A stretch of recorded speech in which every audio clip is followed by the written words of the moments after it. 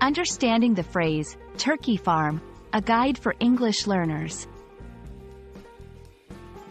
Hello, everyone. Today, we're going to explore a unique phrase in the English language, turkey farm.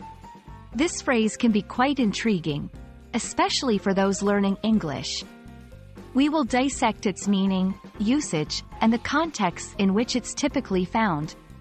So, let's dive in and unravel the mystery of turkey farm.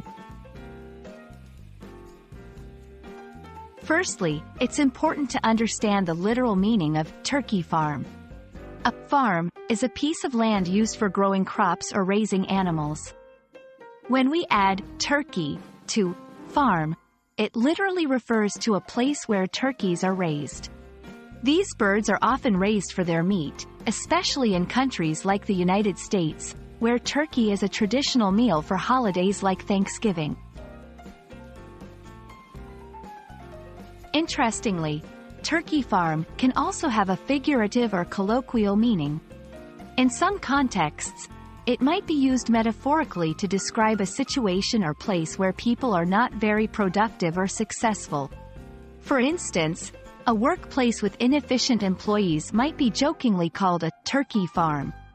It's important to note that this usage can be seen as humorous or slightly negative.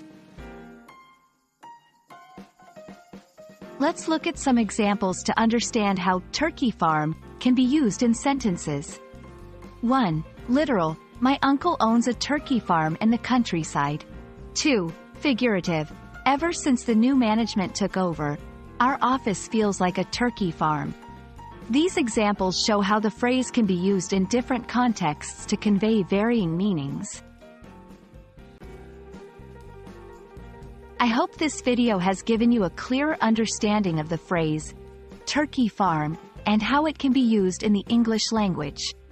Whether it's referring to an actual place where turkeys are raised or metaphorically describing an inefficient environment, it's a great example of the richness and versatility of English expressions.